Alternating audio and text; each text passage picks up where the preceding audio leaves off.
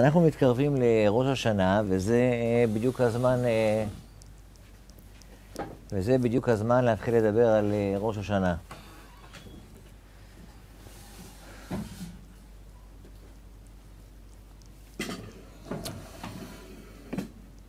במסכת ראש השנה כתוב, אמרו לפניי מלכויות, כדי שתמלכוני עליכם.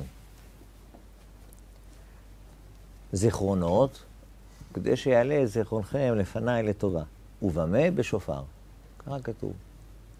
זאת אומרת שיש לנו, וזה תפילת מוסף בראש השנה, זו התפילה שמוסיפים בראש השנה, שהיא מיוחדת עבודת היום, זה יושב על הפורמט של מלכויות, זיכרונות ושופרות. אבל מה כתוב כאן? המלכויות זו העבודה, כדי שיעלה זיכרונכם לפניי. ובמה, איך הדרך? על ידי שופר. אז אנחנו קצת ננסה לדבר על הדבר הזה. אבל כדי להגיע לזה, נעשה קצת סיבוב. אנחנו רואים שבכל הברכות שאנחנו מברכים, אנחנו מברכים בנגלה ונסתר. ברוך אתה השם. מדברים על בורא עולם, כאילו הוא נוכח מולי. אתה השם. אם למשל ניקח את ברכת שהכל נהיה בדברו, מן הראוי היה לסיים שהכל נהיה בדברך, כי אני מדבר אליו. ברוך אתה השם, אתה, שהכל נהיה בדברך. אבל כשאני מגיע לשבח, אני אומר שהכל נהיה בדברו. כאילו, לא, אני לא מדבר אליו, אני מדבר אודותיו. זה כל הברכות ככה. ברוך אתה השם, בורא פרי הגפן. בראת פרי הגפן. המוציא לחם מן הארץ, שהוצאת לחם מן הארץ, היה צריך להיות כתוב. הצורה הנכונה בלשון, אם זה נגלה או אם זה נסתר, אחד מהשתיים. או לברך ברוך הוא השם שהכל נהיה בדברו. אבל לא אתה השם שהכל נהיה בדברו. ותבדקו, זה בורא פרי אדמה, בורא פרי העץ, בורא, מדברים עליו בנסתר. אז כאן בדבר הזה אנחנו בעצם מגלים סוד שהוא דבר שהוא פשוט. הוא פשוט, אבל uh, לא חושבים עליו, לא מלמדים את זה כל כך, אבל uh, אנחנו פה בשביל ללמוד. יש מה שנקרא את הקדוש ברוך הוא, ויש את מה שנקרא איך שהוא מתגלה אלינו. אנחנו את הקדוש ברוך הוא לא רואים. אנחנו מגלים שהוא קיים דרך מה שהוא עושה בשבילנו. זה נקרא, כמו שאנחנו אומרים בתפילה, כשמזכירים את שם השם. אז מה אנחנו אומרים? ברוך הוא וברוך שמו. ברוך הוא וברוך שמו. יש את uh, הוא, הוא זה אלוקים עצמו. ויש ברוך שמו, את איך שהוא מתגלה אלינו. אנחנו לא רואים אותו, אנחנו לא אין לנו השגה בו. אבל אנחנו רואים את כל מה שתלוי סביבנו, שאנחנו מבינים לבד שזה לא בא מעצמו. הוא עשה את זה, אז אנחנו מגלים אותו דרך מה שהוא עשה. אלה הם נקראים שמותיו. שמותיו זה בעצם צורות ההנהגות שבו הוא מתנהג אלינו. הוא פונה אלינו דרך כל מיני דברים. וכשהוא פונה אלינו בצורות שונות וכאלה, שונות ומשונות, ככה אנחנו מגלים אותו. זה ברוך הוא וברוך שמו. בכל ברכה אנחנו נוגעים בעצם בשני הדברים האלה. ברוך אתה השם. אנחנו מבקשים שבורא עולם עצמו יתגלה אלינו. ברוך זה תתגלה אלינו בורא עולם, תתגלה אלינו. עוד ועוד ועוד ועוד. אז ברוך אתה השם, רוצים שבורא עולם עצמו יתגלה אלינו. ושהכול נהיה בדברו. שכל מה שאני רואה זה בדברו של מי? של אותו השם שלא יתגלה אלינו, אנחנו רוצים שהוא יתגלה אלינו. נגלה ונסתר, נגלה ונסתר. וזה פסוקים בנביא. הנותן רוזנים לעין. הקדוש ברוך הוא את האנשים החזקים עושה אותם כאין וכאפס. שופטי הרץ כתו הוא עשה. אנשים, תקיפים, שופטים, כתוהו, כמו כלום עושה אותם. אף בל ניטעו, אף בל זורעו, אף בל שורש בארץ גזעם. גם נשף בהם ויבשו, שערה כקש תישאם. בואו עולם מתייחס עם אנשים, תראו, אנשים גדולים גדולים, נעלבים. ואל מי תדמיוני ואשווה, יאמר קדוש. אומר הקדוש ברוך הוא, אל מי אתם יכולים לדמות אותי, שאני זה שמפעיל את הכל ושולט על הכל? שאו מרום עיניכם וראו מי ברא אלה. תסתכלו על כל הבריאה, מאיפה זה כל הדבר הגדול הנורא הזה נהיה? המוציא במספר צבאם לכולם בשם יקרא מרוב אונים והמצכוח איש בעל נהדר. איש לא נהדר. למה תאמר יעקב, זה כבר פנייה אלינו, ותדבר ישראל נסתרה דרכי מהשם, ומאלוקיי משפטי יעבור. למה אתם רואים את הבריאה, אבל אתם לא רואים את מה שמסתתר מאחורי הבריאה, זה את בורא עולם? למה תאמר יעקב ותדבר ישראל נסתרה דרכי מהשם ומאלוקיי משפטי יעבור? הלא ידעת אם לא שמעת אלוקי עולם השם בורא קצות הארץ לא ייעף ולא ייגע ואין חקר, אין חקר לתבונתו. אפשר לראות מהבריאה כולה את החוכמה, כולם בחוכמה עשית, איזה יופי, יש כאן מישהו שעומד מאחורי זה, וזה בורא עולם.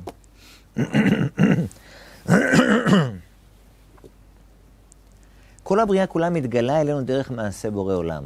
אנחנו בקידוש לבנה אנחנו אומרים את זה. אשר במאמרו ברא שחקים, וברוח פיו כל צבאם. חוק וזמן נתן להם שלא ישנו את תפקידם. הבריאה כולה עובדת בצורה מדויקת, היא לא מזייפת. ששים ושמחים לעשות רצון קונם. לבריאה יש תפקיד לגלות את הבורא. כל הבריאה כולה נאמנה למטרה שלשמה היא נבראה. היא לא עושה מה שבא לה, היא עושה מה שבורא עולם, לכן הם לא משנים את תפקידם. פועל אמת שפעולתו אמת. אפשר לראות, אין אף יצור בבריאה, כן? לעולם לא תראו זברה שמנסה להיות אריה או אריה שמנסה להיות זברה. הם נאמנים לתפקיד שלהם. אנחנו, בני האדם, גם לנו יש תפקיד. אבל אנחנו קצת מזייפים התפקיד. אנחנו היצור היחיד בבריאה שיודע לשקר. לא רק יודע, גם עושה את זה טוב. וכל הפסוקים בתורה זה מופיע, כל הזמן תעקבו על זה, זה שמי לעולם וזה זכרי לדור ודור. יש את בורא עולם, יש את, העצמות, את עצמותו, שהיא נעלמת, היא, היא איננה, אנחנו לא, אנחנו לא יודעים עליה שום דבר. אנחנו רק משיגים אותה עד כמה שהיא מתגלה אלינו דרך הבריאה, או דרך המידות בבריאה. המידות.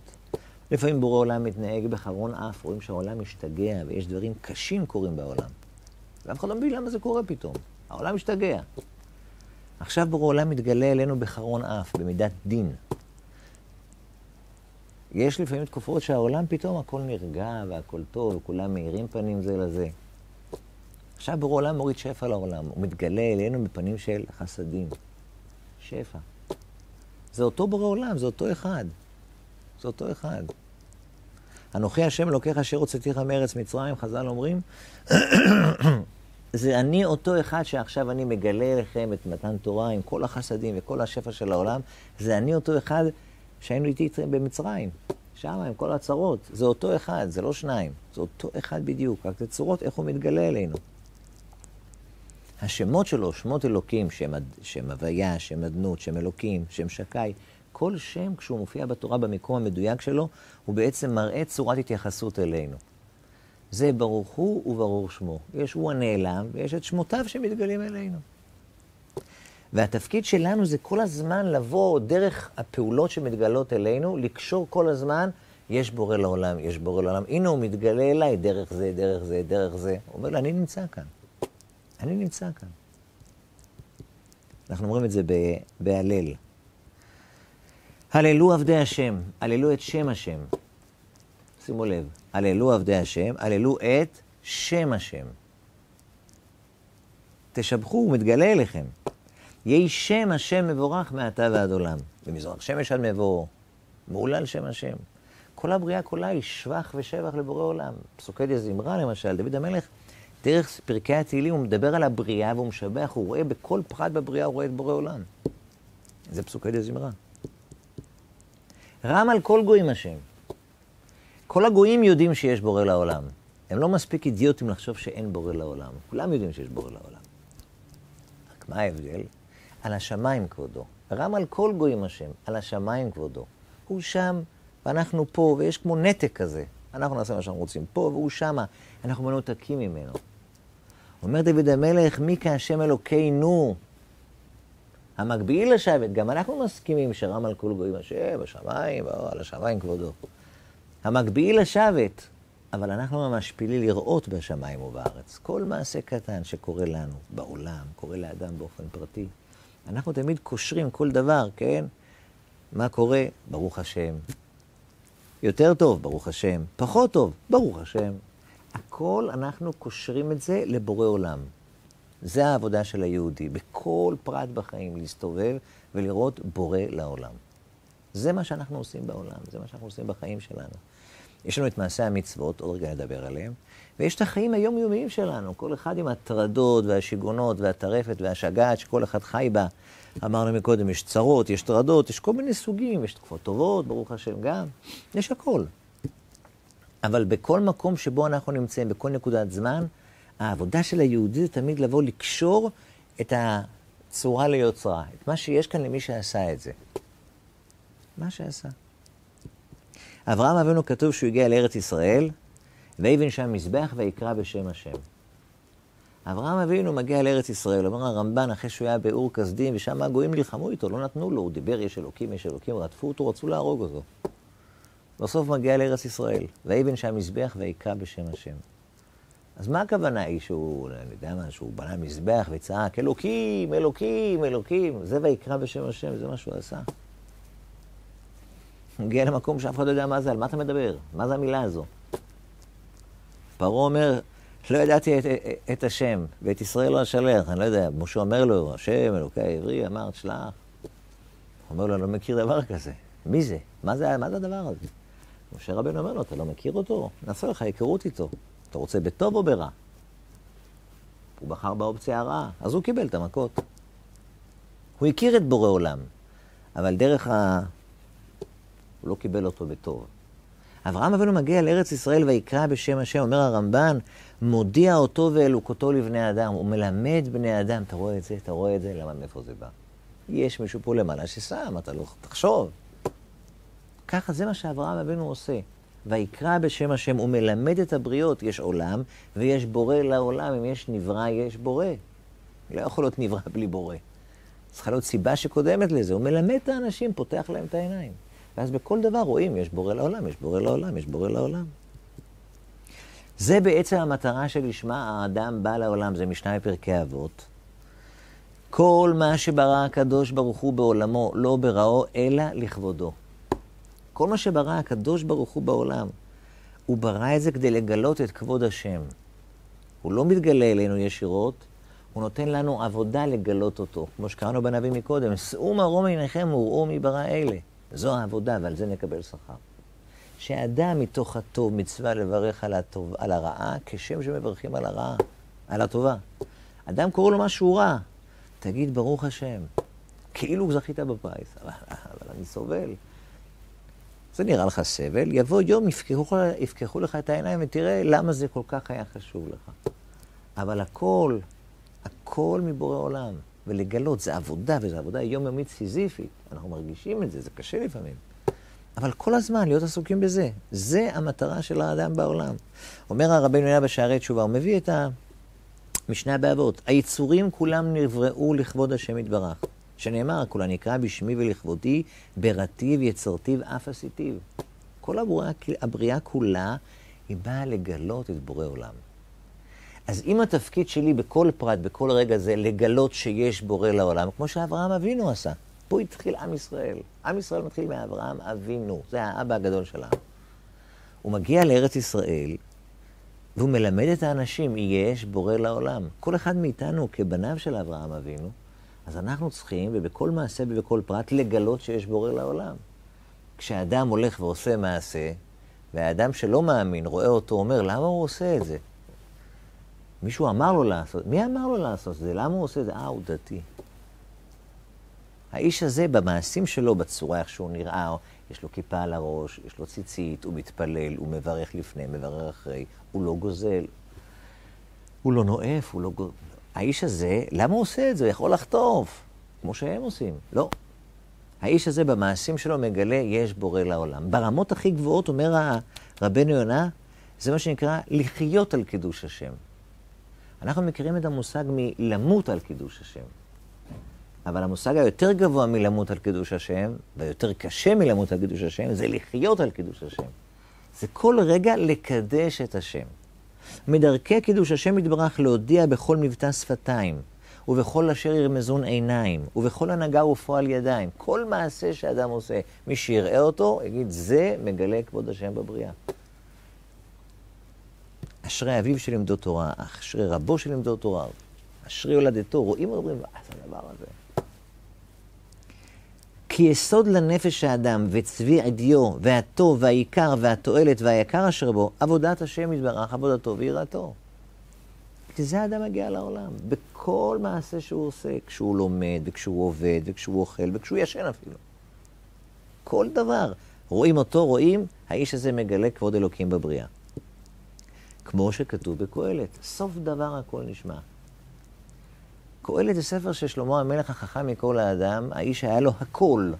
הכל ברמה הכי גבוהה, הוא שלט על הבריות הנראות והלא נראות, כל הכוחות, הכל היה לו בידיים. והוא אומר, אני בודק את העולם, לראות למה, מה כדאי לעשות פה. וכל דבר הוא אומר, בדקתי את זה ועשיתי את זה וזה הבל, בדקתי את זה וזה, גם זה הבל. הבל הבלים אמר קהלת, הבל הבלים, הכל הבל. הכל שטויות, הכל שטויות. נו, אז בשביל מה באנו לפה עם הכל שטויות?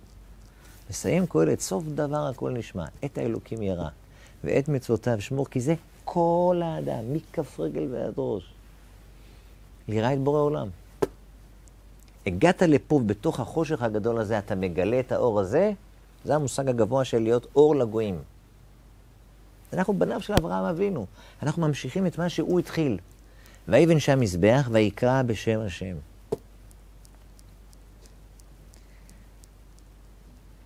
אז מטרת הבריאה היא לגלות כבוד השם בבריאה. אנחנו מוצאים בגמרא, שהגמרא מדברת, האם מותר, אנחנו יודעים שקריאת שמע, אסור להפסיק באמצע. אסור לדבר. אבל יש דברים שמותר, מפני הכבוד, מפני היראה, מגיע איזה רב חשוב, או מגיע איזה מלך שמפחדים ממנו. רב לא מפחדים ממנו, אבל מכבדים אותו. אז יש מפני הכבוד, מפני זה סוגיות בגמרא. מתי מותר להפסיק בקריאת שמע? לדבר, להגיד שלום. יש כאלה שלא אומרים להם שלום, אבל אם הם שואלים, אז עונים להם שלום. כל מיני דברים, הלכות. הגמרא מביאה שהיה איזה אחד התנאים, קראו לו אחי. הוא היה אצל רבי חייא. והוא שאל את רבי חייא, תגיד לי, בהלל, קוראים הלל, או בקריאת מגילה. זה כמו קריאת שמע, שגם שם מותר לענוד מפני הכבוד ומפני היראה? או שאולי הלל ומגילה זה יותר חמור, שם אפילו בשביל זה אסור לענות. קריאת שמע זה דאורייתא, הלל ומגילה זה דרבנן. יכול להיות שהלל ומגילה זה יותר חמור מקריאת שמע? אבל לאור מה שאנחנו אומרים עכשיו, כל מה שיהודי בא לעולם זה לגלות שיש בורא לעולם. מה זה הלל? הלל אומרים בימים שהיה בהם ניסים, דברים, גילויים גדולים, מהללים את שם השם. כשאומרים הלל, נוגעים בעצם בנקודה הכי רגישה, בנקודה, בנקודה הבסיסית של כל עבודת השם שלנו בעולם, לגלות את השם. אמנם להגיד את ההלל זה מצווה דה רבנן, אבל המצווה הזו היא בעצם עכשיו עסוקה בסוגיה הבסיסית ביותר של יהדות, לגלות שם השם. זה יותר חמור מקריאת שמע. יש כזה צד בגמרא. מגילת אסתר, מגילה זה כמו הלל. הגמרא אומרת, למה לא אומרים הלל בפורים? פורים היה נס גדול, שיגידו הלל. אומרת הגמרא, מקריאת המגילה, זה ההלל. אין לך הלל יותר גדול מזה, מדברים על הנס עצמו, מספרים אותו. יש צד שהפרסום הנס, פרסום ניסיו של בורא עולם, זה יותר מקריאת שמע, כי זה מגלה את כבוד השם בבריאה. הרי מה זה נס? שבורא עולם מתגלה בבריאה. אז לגמרא יש צד עד כדי כך. שקריאת, שהלל ומגילה היא יותר חמור מקריאת שמע. הרמב"ן כותב לנו, כוונת כל המצוות, יש לנו תרי"ג מצוות. מה המטרה של כל המצוות? כל מצווה יש לה עניין מיוחד בפרטיות שלה, הכל נכון. אבל תן לי כותרת לכל המצוות, לכל התרי"ג. תרי"ג זה בעצם כל החיים של יהודי בעולם הזה. וכוונת כל המצוות, שנאמין באלוקינו ונודה אליו שהוא בראנו. כשאדם עושה מצווה, עושה מצווה, אומרים לו, תגיד לי, אתה, למה, למה אתה ממלמל לפני שאתה אוכל? מה זה המלמולים האלה? מה זה הדיבורים האלה? אתה מדבר לעצמך? אתה משוגע? הוא אומר, לא, אני מברך לבורא עולם. אין שום רציונל שיכול להכריח בן אדם שרעב לא לאכול ולהגיד איזה משפט לפני שהוא אוכל, או אחרי שהוא אוכל, לברך, אלא אם כן יש בורא לעולם שציווה אותו לעשות את זה. אדם נכנס לסוכה, אומר לו, תגיד, אתה נורמלי, יש לך בית נחמד, עבדת עליו קשה, אתה משלם על המשכנתה רצח, מה אתה עכשיו יוצא שבוע לגור באיזה אוהל? בורא עולם ציווה. כל מצווה שאדם עושה, הרי אילולא זה היה מצווה לא היינו עושים את זה. אז עצם זה שאנחנו מקיימים מצוות, מה זה בעצם צועק? אנחנו מודים שיש בורא לעולם, יש בורא לעולם, ולכן אנחנו עושים את זה. אומר הרמב"ן, כל קיום המצוות, מה המטרה שלי, למה זה בא? שיהודי שרואים אותו מקיים מצוות, הוא בעצם צועק דרך המצוות. רבותיי, יש בורא לעולם, הוא אמר לי לעשות, אני עושה. אז כשרואים אדם שמקיים מצוות, זה שרואה אותו, מה רואה? לא את המצווה, הוא רואה את זה ששלח אותי לעשות את המצווה. ולכן אתם תראו שיש אנשים שרואים אנשים אחרים שמקיימים מצוות, זה מוציא אותם מהדעת, זה מחרפן אותם. והם מעירים להם, וסונטים בהם, מה יש לך? מה אכפת לך שאני עושה את זה? מה אכפת לך? תעשה מה שאתה רוצה. לא, אין לו בעיה עם מה שאני עושה. יש, לי, יש לו בעיה עם מה שעומד מאחורי מה שאני עושה. כשאני עושה את זה, אני צועק, יש בורא לעולם. אם יש בורא לעולם זה מחייב, את זה הם לא מוכנים לקבל, זה מעצבן אותם. כל מי שחזר בתשובה והוא מגיע פעם ראשונה או פעם שנייה אל האזורים, יכול להיות במשפחה או חברים, ופתאום הוא עושה דברים שצועקים, יש בורא לעולם, זה מוציא לדעת את כולם. מה אכפת לכם שאני עושה את זה? מה אכפת לכם? לא אכפת להם מה שאתה עושה. אכפת להם מה אתה אומר עם מה שאתה עושה. מה שאתה אומר זה שיש בורא לעולם, יש בורא לעולם זה מחייב אותם. זה מעצבן אותם, הם לא מוכנים לקבל את זה. אומר הרמב"ן בכוונת כל המצוות שנאמין באלוקינו ונודה אליו שהוא בראנו. זה קיום מצוות. והיא כוונת היצירה, לכן בורא עולם ברא אותנו. שאין לנו טעם אחר ביצירה ראשונה, אחרת, למה בורא עולם ברא את העולם? שעמם לו.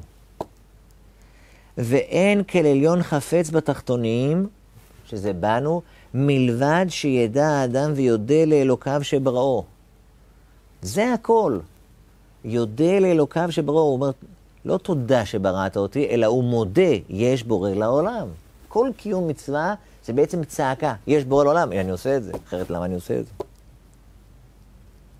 וכוונת רוממות הכל בתפילות. כשאנחנו עומדים בתפילה, מגביהים את הקול ומדברים בקול רם. וכוונת בתי הכנסיות, בונים בתי כנסיות, בואו להתפלל, בואו להתפלל. וזכות תפילת הרבים. מה העניין להתפלל ברבים? תפלל לבד, מה, השם לא שומע כשאני לבד? לא, שיהיה ברבים, כולם ביחד, בתי כנסיות, בית מיוחד, כולם, מה זה? זה בית השם, בית מקדש מעט. פה מדברים עם בורא עולם.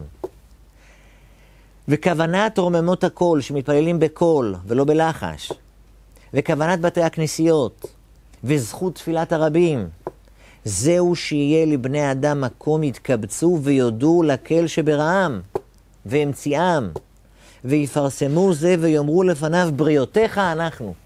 שמעתם? אדם מתפלל, חושב, למה אתה מתפלל? כדי לבקש. אתה לא מתפלל בשביל לבקש.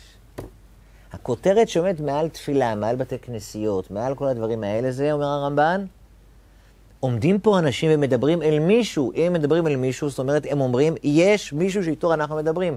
מי זה? בורא עולם. הם צועקים, יש בורא לעולם. כשבן אדם הולך, כן, בבית... עם תיק של טלית ותפילין, הוא הולך לבית כנסת, כל מי שרואה אותו, הוא לא רואה טלית ותפילין, הוא רואה, יש בורא לעולם. יש כאלה שרואים את זה, זה משגע אותם. זה משגע אותם. משגע אותם. אבל זה הצעקה, בשביל זה עושים את זה. תחשבו, עומדים אנשים, קבוצת אנשים גדולה, מתכנסת ביחד, יש שעות, מדבר, מדבר, אל מי אתם מדברים שם? הם צועקים, יש בורא לעולם, זה הכוח של תפילה. אתה צועק, יש בורא לעולם, בורא עולם פונה אליך בחזרה, נותן לך את כל מה שאתה רוצה. זה הזכויות של תפילה, זה העניין הגדול של תפילה. כשאנחנו מבינים מה זו תפילה, שתפילה זה בעצם מדבר, אמרנו, כל המצוות וכל הדברים, כן, הכל זה לגלות שיש בעולם. כל מה שברא הקדוש ברוך הוא בעולמו לא בראו אלא לכבודו. כשרואים את הבריאה, מי שמסתובב עכשיו במרכז תל אביב רואה כל שנייה מגדל אחר פורח באוויר, לא רואה כל כך בורא עולם. אבל פתאום הוא רואה איזה דוס מצוי מסתובב שם בפנים ומחפש עשירי למניין, הוא אומר, תגיד, מה הוא מפריע פה באמצע? מה הוא עושה פה האיש הזה? האיש הזה צועק, יש בורא לעולם, תעזוב את כל השטויות שיש כאן מסביב. יש בורא לעולם, יש בורא לעולם, זו צעקה אדירה. זו צעקה אדירה. תפילה בעצם נוגעת בשורש של כל המצוות כולם.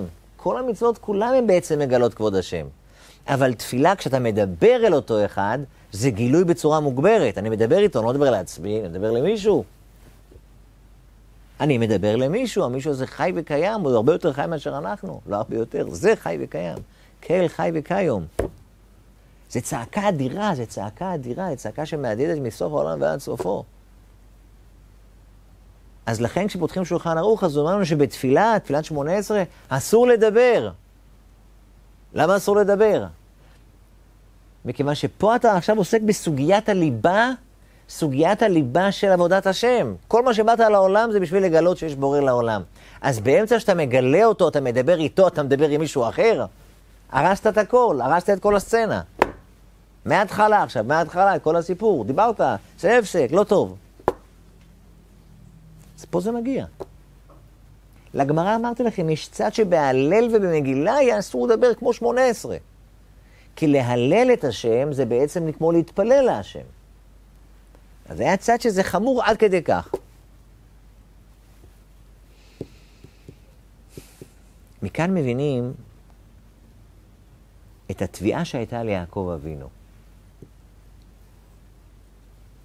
יעקב אבינו, כשהבנים חוזרים מארץ מצרים, הם מגיעים לארץ ישראל, והם אומרים לו, תקשיב, באנו אל, למצרים, ויש שם איזה מושל, הוא השתגע עלינו, לא יודע מה הוא רוצה מהחיים שלנו. מרגלים אתם, מערבת הארץ באתם לראות, לא יודע מה לעשות.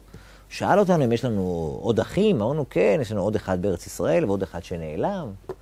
אז הוא אמר, טוב, בזה תיבחנו אם אתם דוברי אמת, אם תביאו לי את אחיכם הקטון, תביאו אותו אליי. ובינתיים הוא לקח את שמעון כערבון עד שנביא את uh, בנימין. אומר להם יעקב אבינו, ויאמר ישראל, למה הראותם לי להגיד לאיש העוד לכם אח? למה עשיתם לי רעה? למה אמרתם שיש לכם... מי ביקש מכם להגיד יש לכם עוד אח? אז אומרים, הוא שאל אותנו. מה, חלמנו שהוא יגיד משהו? הוא שאל, היש לכם עוד אח? אז אמרנו לו, יש. הוא שאל, מה יכולנו לעשות? הוא אומר, למה הראותם לי? ככה אומר יעקב אבינו לבנים שלו. אומר המדרש, תראו מדרש, זה פחד, זה צמרמורות.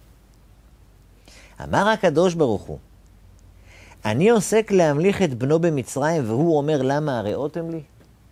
הרי מה פה הסיטואציה? יוסף במצרים אמור להיות מלך על כל העולם, ולקיים את הנבואה, את החלומות של יוסף. אמר הקדוש ברוך הוא, אני עכשיו דואג להמליך את הבן שלו במצרים, ואיך הוא רואה את זה? הוא אומר לבנים שלו, למה הראותם לי? זה לא רע, פה עכשיו רוקמים את כל הטובה הגדולה שהולכת לצאת. יעקב וכל בניו ירדו למצרים ויהיה באושר גדול, יוסף יחזיק אותם, יכלכל אותם. ברעב, כל העולם הם משנוררים, והם יהיו בנים של המלך. כך אומר המדרש, אמר הקדוש ברוך הוא, אני עוסק להמליך את בנו במצרים, והוא אומר, למה הראותם לי?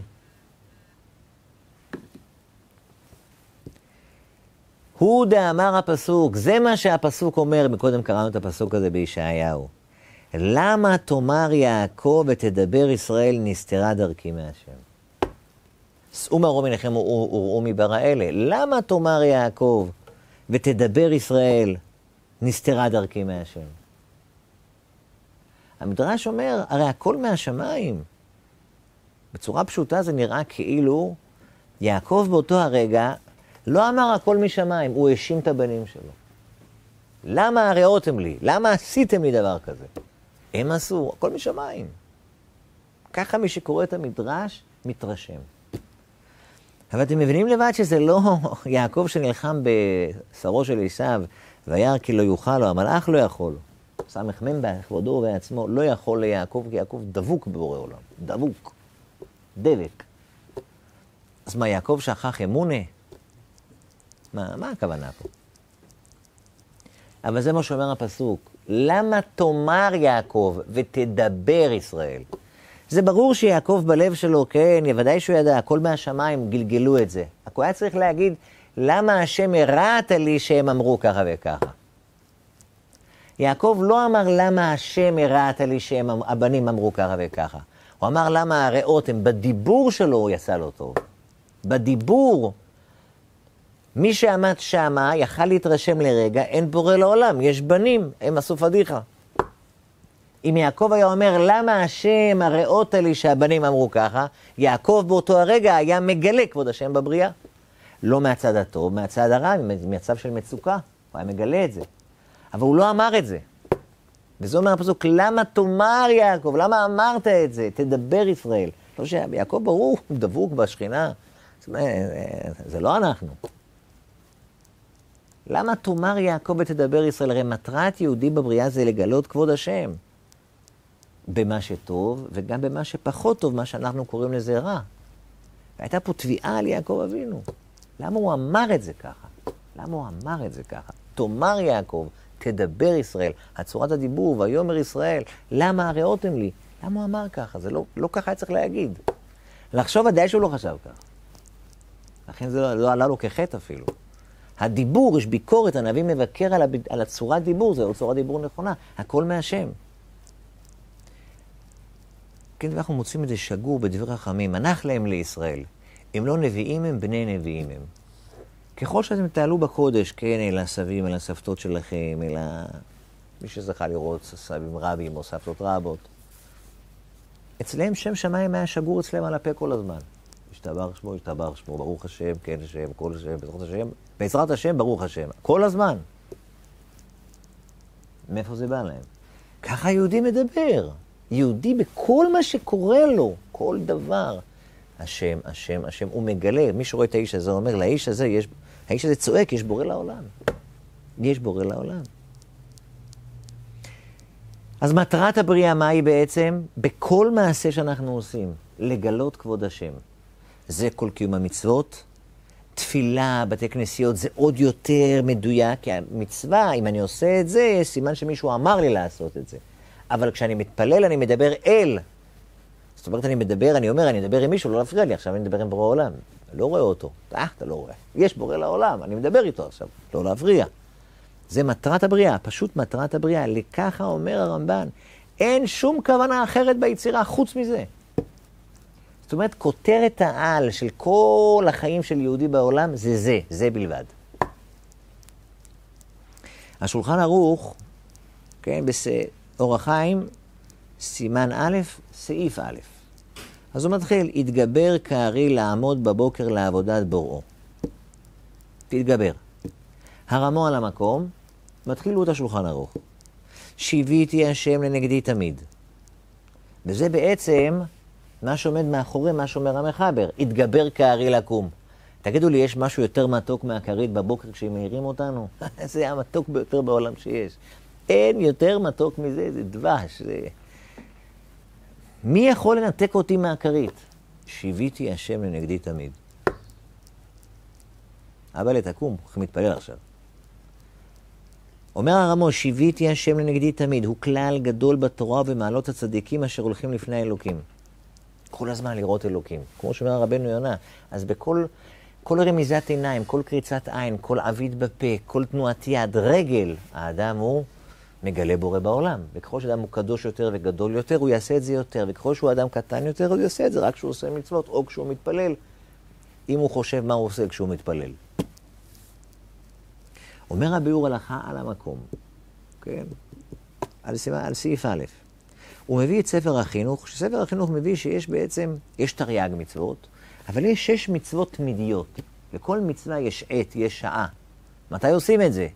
לא עושים סוכה באמצע החורף, סוכה זה רק בסוכות. לא יום לפני ולא דקה לפני וגם לא דקה אחרי. יש זמן, כל דבר. מצות, זה בפסח. אתה רוצה לאכול עוד מצות, תאכל, אבל אין בזה שום מצווה. לכל מצווה יש את הזמן שלה, תפילין, ציצי, כל דבר יש זמן. יש שש מצוות תמידיות שהן כל הזמן. אין רגע אחד שזה לא מפסיק. מה זה שש מצוות תמידיות? אגיד לכם בקצרה. להאמין שיש אלוקה אחד. שהיה ושיהיה לעדי עד, לא תלוי בזמן, יש אלוקים אחד. והוא הוציאנו ממצרים ונתן לנו את התורה, זה אותו אחד.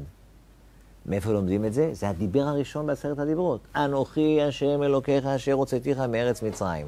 להיות דבוק במידה הזאת, לדעת שיש בורא לעולם. אלוק האחד, היה, הווה ויהיה, הוא הוציא אותנו ממצרים, והוא זה שנתן לנו את התורה. מצווה תמידית מספר 2, שלא נאמין בשום אלוהים זולתו. לא לחשוב שיש עוד כוח חוץ ממנו. כוח חוץ ממנו יכול להיות כוח רוחני, או גם איזשהו אדם פיזי שיש לו את הכוח כאילו לעשות מולי איזשהו משהו. כולם כאין וכאפס. יש רק בורא לעולם.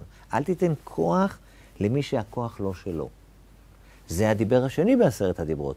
לא יהיה לך אלוהים אחרים על פניי. לפעמים אדם הוא מאמין שיש אלוקים, אבל הוא גם כן אה, מאמין בעוד דברים. יש אדם שלא מאמין שיש אלוקים. יש אדם שהוא מאמין, אבל הוא מאמין בעוד דברים. אומר הרבה חביבי, אין עוד דברים, רק זה.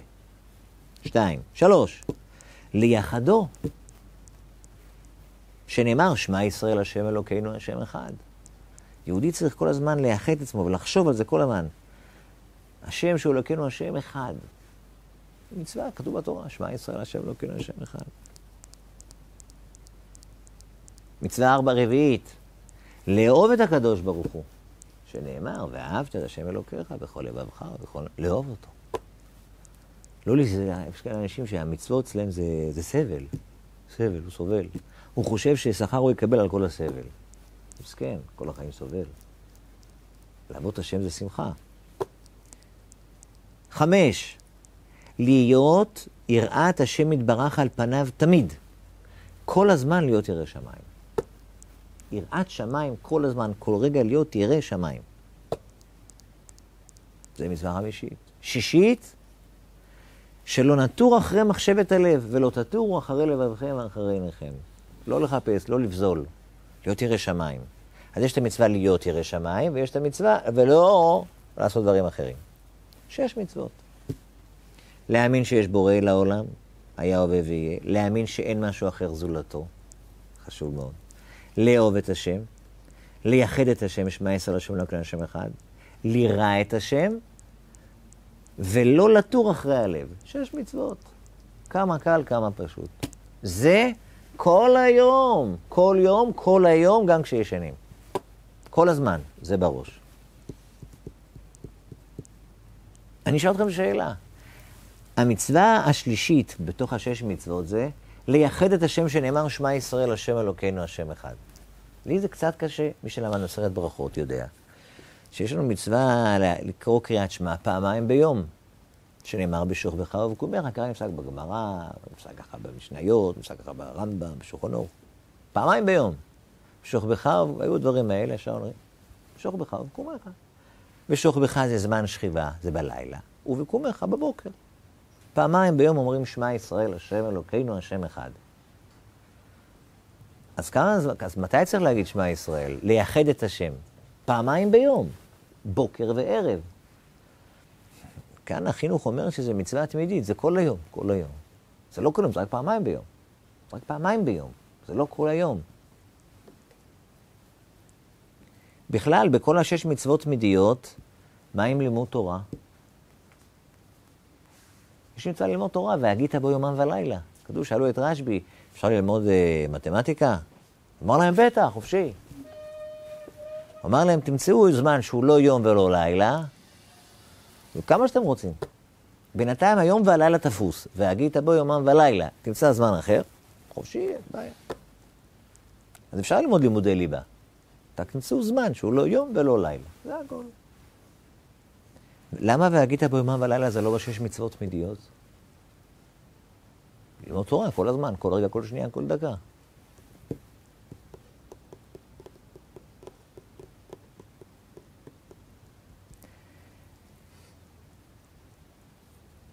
כדי להסביר את זה, נעשה סיבוב קצר. הבית יוסף מביא רבנו יונה, שהרבנו יונה אומר, אדם צריך לברך ברכה, אבל הוא לא יכול לברך, הוא נמצא במקום שיש שם לכלוך, טינופת. אסור לברך בכזה מקום, אסור לברך. נגיד, סתם דוגמה, אדם נמצא עכשיו, תפסו אותו, נמצא באיזה בית כלא. יש לו שירותים בחדר.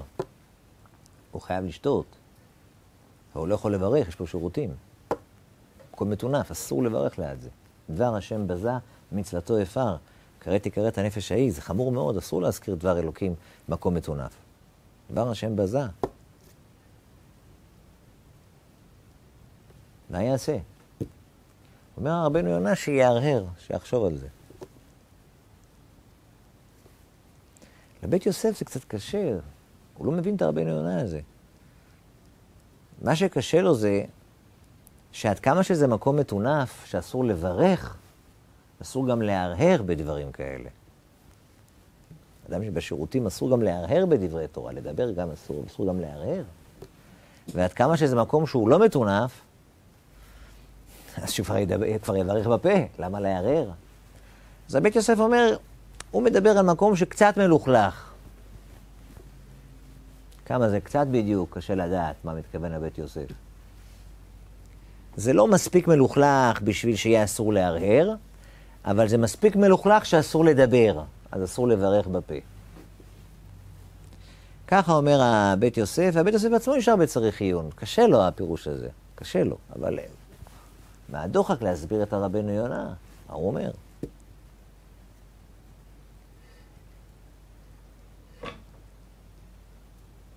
הדרישה על המקום, הדרישה זה אסמה, ספר מירת עיניים. הדרישה על המקום, וגם רבנו ירוחם ליבוביץ', אומרים אותו דבר.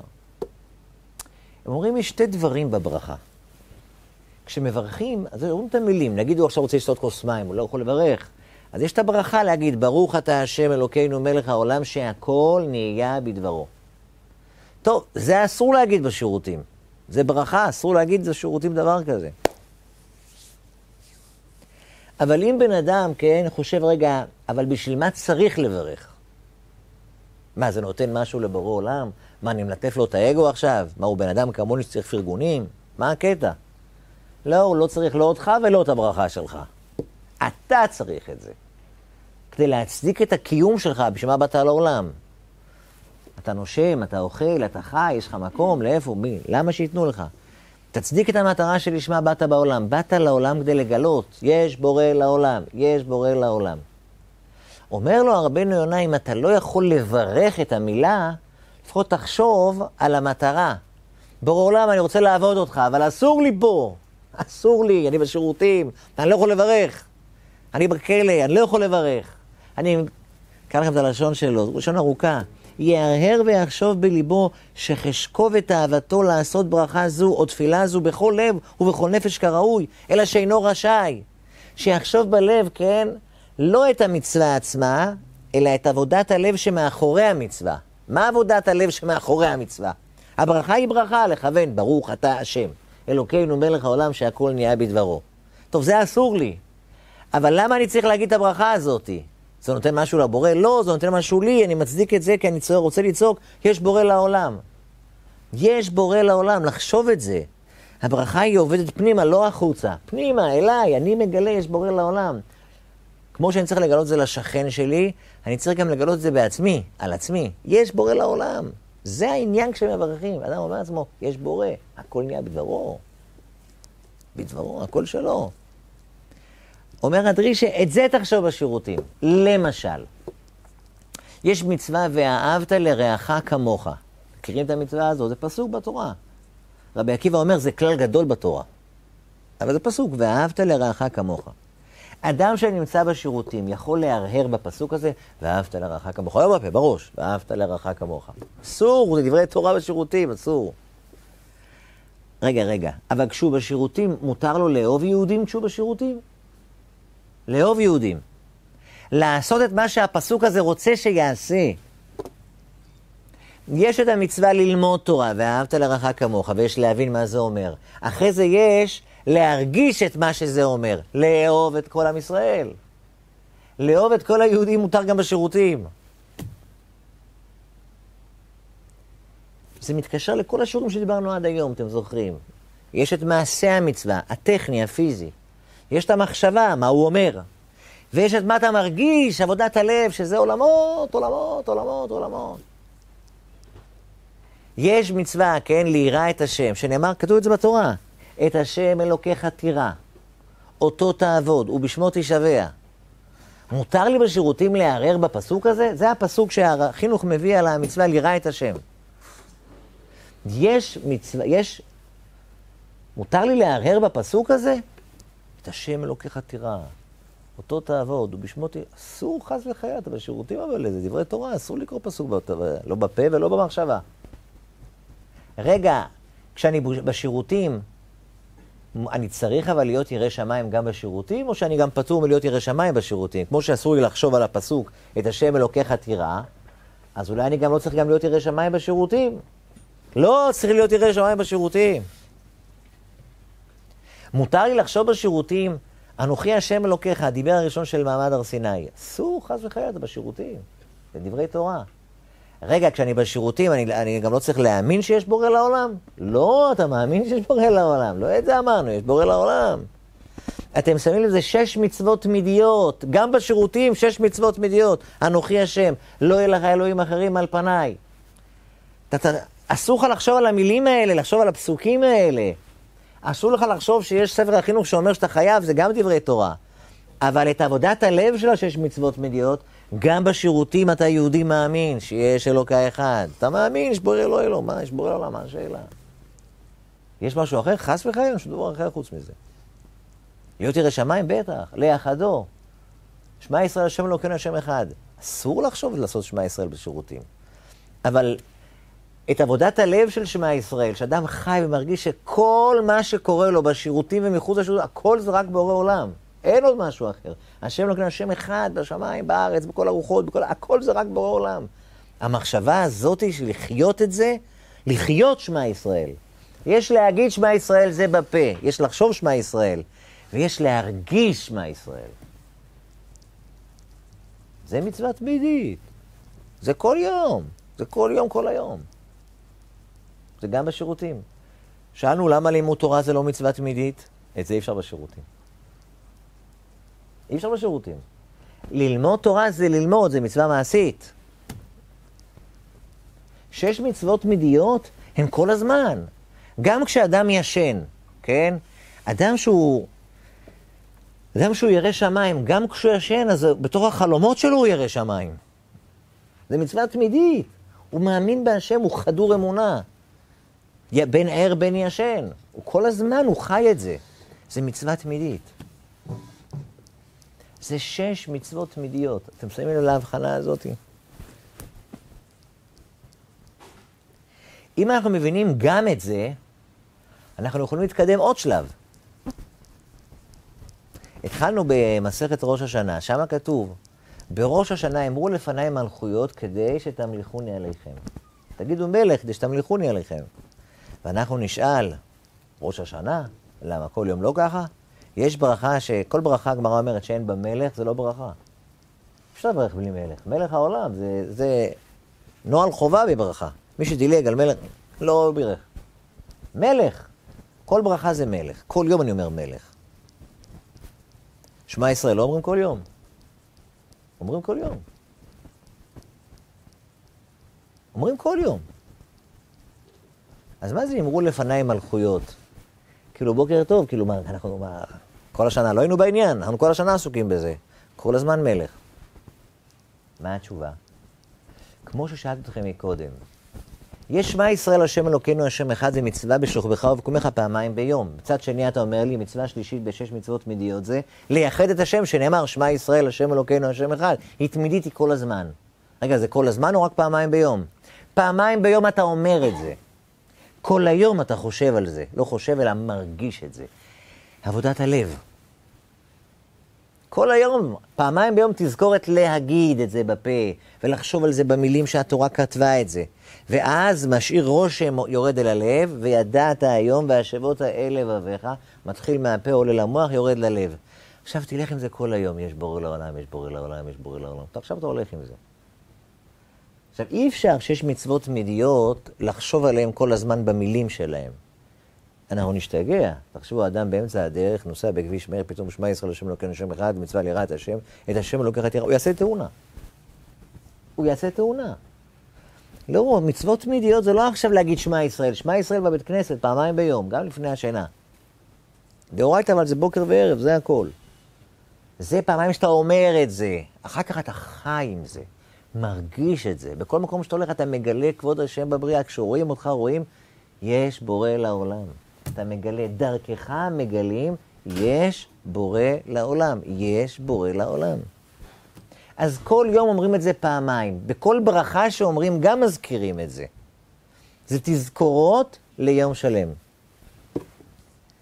כשמגיע ראש השנה, ההבחנה של ראש השנה בשונה מכל השנה זה, שלמה אנחנו כל כך בלחץ מראש השנה? כי זה יום הדין. ואז מה? אז שופטים אותנו. מה הבעיה? הבעיה היא שאנחנו סיימנו שנה ביתרת חובה. זה הבעיה. איך הגעת לכזה מצב? למה החשבון שלך ביתרת חובה? למה אתה לא ביתרת זכות? כנראה שכל השנה, כשאמרת פעמיים שמע ישראל, לא יודע אם חשבת על זה, ודאי שלא הרגשת את זה, וכנראה שכל היום לא הרגשת את זה, כי עשית הרבה שטויות שלא לא מסתדרות עם השמע ישראל שאמרת. לא מסתדר כל כך. ראו אותך בכל מיני מקומות שזה לא בדיוק שמע ישראל. פעמיים ביום אתה אומר, אתה אמור להיות, להרגיש את זה, בכל מקום ללכת, שיראו... זה לא בדיוק עבד. היות שנטית כל השנה כולה מהנקודה הזאת שהיא הכותרת של כל המצוות, מגיע ראש השנה ואומרים לך, אדוני, בוא עכשיו נעבוד על סוגיית ליבה. סוגיית ליבה זה להיזכר שיש בורא לעולם. אומר לנו הרמב"ן, כל כוונת רוממות הקול בתפילות, בתי הכנסיות, כינוס, כן, תפילת הרבים, לצעוק, אנחנו שלך בורא עולם, אנחנו שלך, אתה בראת אותנו. כל מה שאנחנו פה אנחנו צועקים, יש בורא לעולם. מגיע יום בשנה, אומר הבורא עולם, אני רוצה שתעברו את הדין. אמרו לפניי מלכויות. אמרו, אמרו, כל היום תגידו.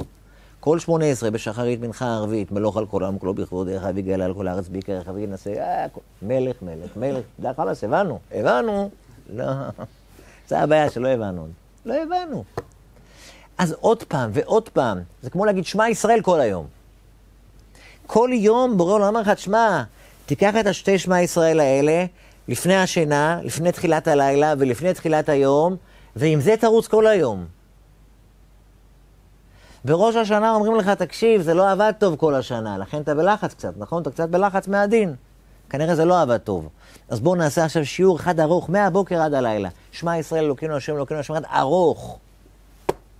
אמרו לפניי מלכויות כדי שיעלה זיכרונכם לפניי. ברגע שאנחנו בראש שנה ומתכנסים, אומרים לבורא עולם, כן, כמו שאומר הרמב"ן בלשון שלו, זה לשון. וכוונת רוממות הקול בתפילות, וכוונת בתי הכנסיות, וזכות תפילת הרבים, שבינינו, מה אנחנו עושים בימים נוראים, חוץ מאשר מתגברים כל הזמן את התפילות שלנו? חודש אלול, סליחות, תוספת. ראש השנה, הופ, קופצים. עשרת ימי תשובה, סליחות, תוספות בתפילה. מגיע יום כיפור, חוץ מלהתפלל לא עושים כלום. מתפללים מהבוקר עד הלילה, כמה מתפללים. למה? מה השיגעון הזה? ספר כזה עבה, אפשר, אפשר להביא את זה בקצר? חוברת, ניקח חמש דקות, נלך הביתה. צום, יום קשה, התחשבות קצת. וכוונת רוממות הכל בתפילות וכוונת בתי הכנסיות וזכות תפילת הרבים זה שיהיה לבני האדם מקום, יתקבצו ויודו לקל שברעם וימציאם. ויפרסמו את זה, ויאמרו לפניו בריותיך אנחנו. אנחנו מחפשים לבוא ביום הזה שבו ברור להם יושב על כיסא דין, הוא מסתכל עלינו לראות מי יש, מה, מה, מה עם החבר'ה שלי? מצב עגום. אבל ביום הזה אנחנו מתכנסים ואומרים לו, לא, לא, אנחנו יודעים, קצת התברברנו השנה, אבל לא שכחנו, אנחנו בעניין חזק. ועומדים ביראה וברטט ובזיע.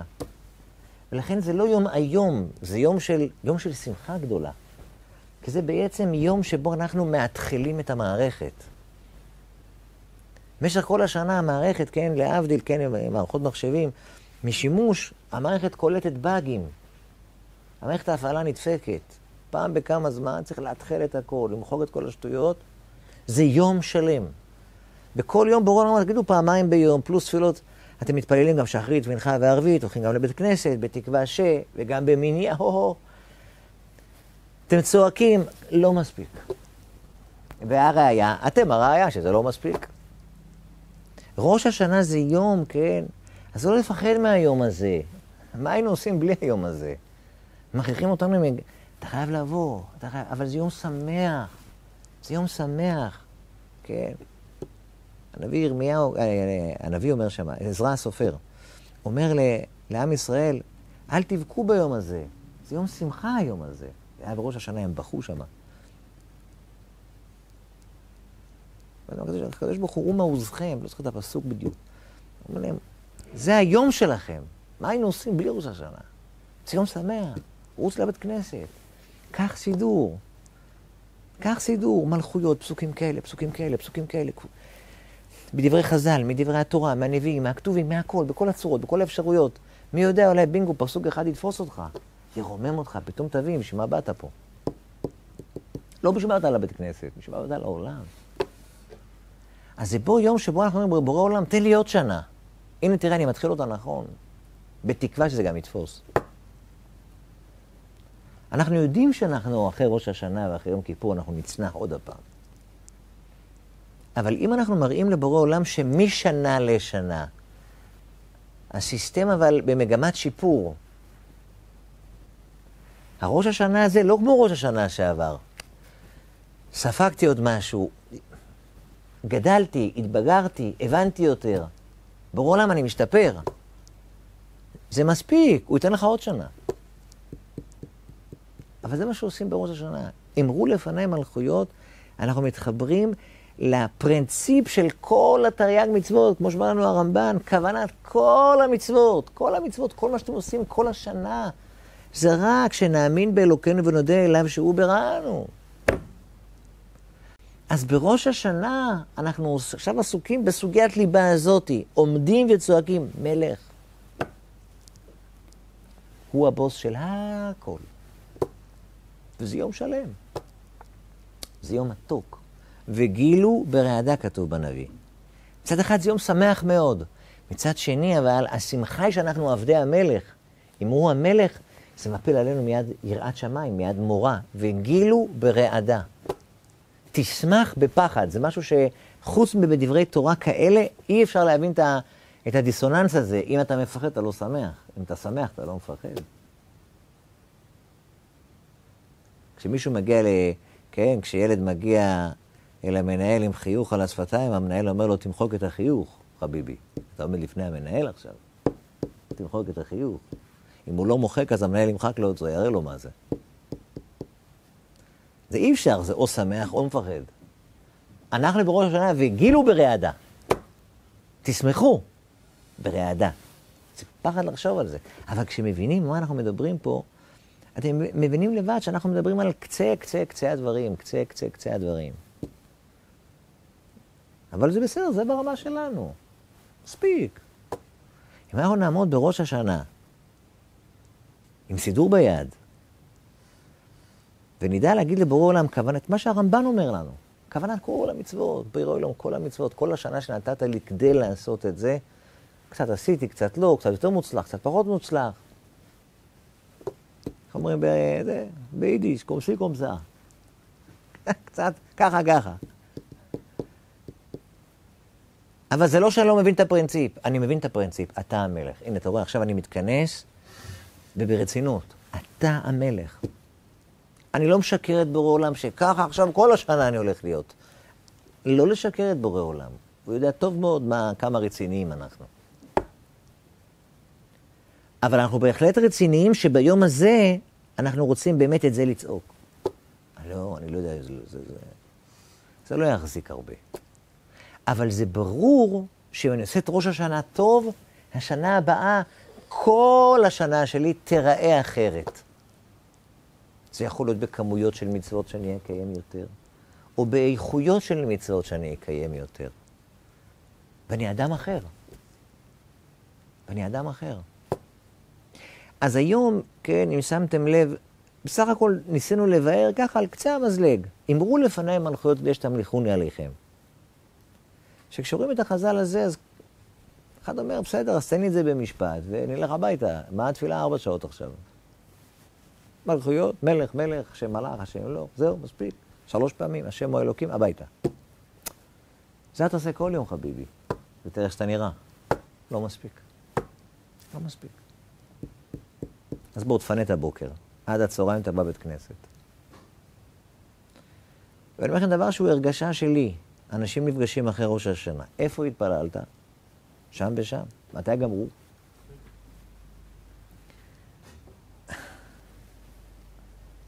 מה, כל כך נורא?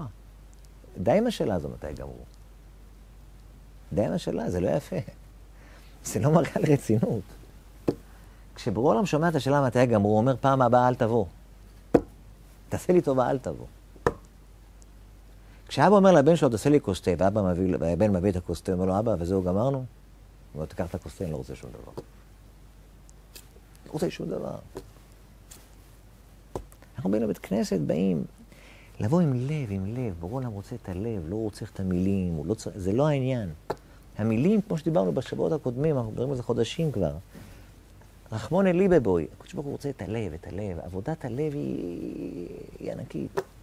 זה מתחיל עם הפה. עולה למוח לחשוב מה אתה אומר, תתבונן, מה אתה אומר, תתבונן, תראה. ואז זה אמור לעורר את ההרגשה, את ההרגשה, את ההרגשה שבהרגשה. כשאדם מצליח מספיק להתרכז, כמו שדיברנו בשבוע שעבר, לפנות את הראש בראש השנה מהשטויות, כן? זה יכול להיות אפילו לכמה דקות בראש השנה. להיות מרוכז רק במושג הזה, אני עובד את השם, באתי לעולם לגלות. אתם תראו שההרגשה, זה, המחשבה הזאת, אם היא נקייה, היא נדבקת ישר אל הלב. ואותו פסוק ששלמה המלך אומר לנו, אומר לנו, אני ישנה, אבל ליבי ער, הלב ער. אלוקיי נשמה שנעתת בי, זה נמצא בפנים. זה מחכה רק שנתחבר לנקודה הזאת. תפנה את כל מה שמפריע באמצע, ומהמחשבה זה יורד ללב, וזה בום אדיר, אתם תראו שזה פיצוץ בכל הגוף. זה יתפוס אתכם עד קצות האצבעות, זה התרגשות. אתה עומד לפני המלך. ובמה בשופר? שופר, תראו, בכוונות המצוות. אחד מהדברים של שופר, יש הרבה דברים בשופר.